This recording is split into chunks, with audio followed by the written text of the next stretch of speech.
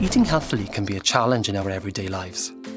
That's why we are proposing changes to support people to make healthier food and drink choices.